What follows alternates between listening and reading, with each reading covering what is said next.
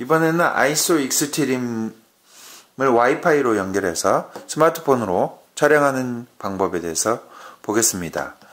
어, 먼저 음, 스마트폰에 Isaw Extreme 안드로이드용인 예, Isaw Viewer를 먼저 다운로드 한 상태에서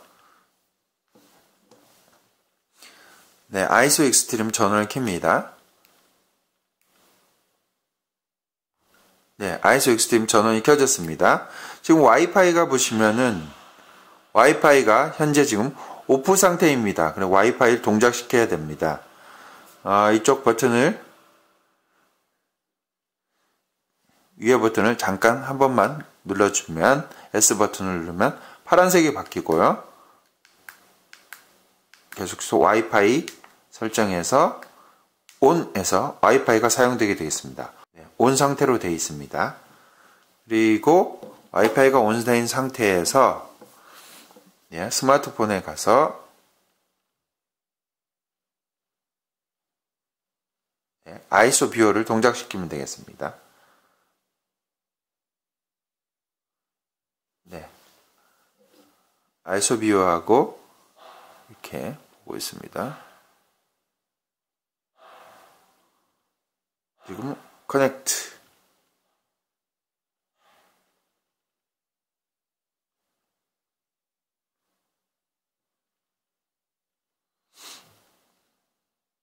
예. 와이파이 연결됐다고 지금 표시가 나왔네요. 보시면 네 연결이 됐습니다.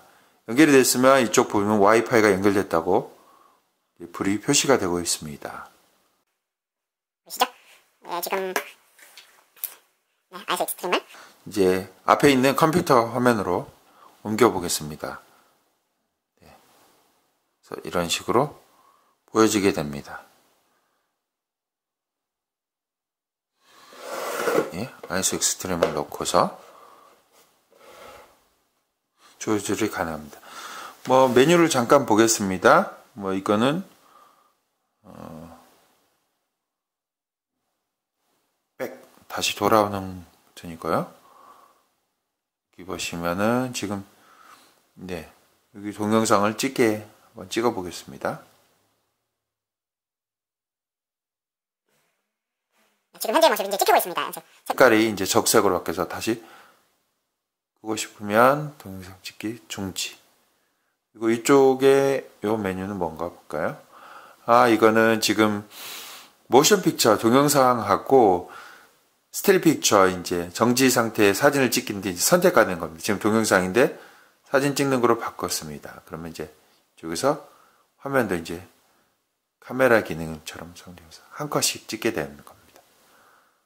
음, 다른 뭐 메뉴는 그런 거는 없는 것 같습니다. 어, 이제 크게 찍고 멈추는 그 두 가지 기능 밖에는 지금 없습니다.